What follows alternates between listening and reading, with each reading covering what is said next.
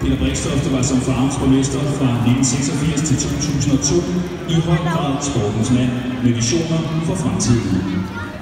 Med sit store fremsyn fik han bygget sportsfaciliteter, som vi alle nyder godt af i dag. Og Peter Brikstoftes entusiastiske arbejde for Farm Boldklub var i høj grad medvirkende til at skabe den solide base, FC Nordsjælland har kunne bygge videre på.